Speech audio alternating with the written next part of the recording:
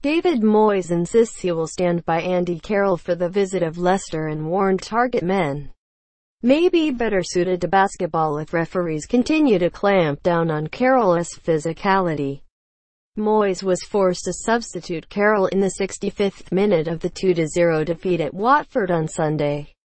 With the striker on a yellow card, Moyes defended his frontman by highlighting instances where Carroll himself was the recipient of the robust challenges. In the 27th minute when he was booked, he was scythed by two people. So if that had been anyone else out there from outside this country then they would have gone down and taken a free kick. Andy didn't. Are you telling me Andy Gray, Joe Jordan, Duncan Ferguson jumped without using their hands for leverage? Anyone who says that has never played the game. I'm telling you, you can only jump with your arms for leverage.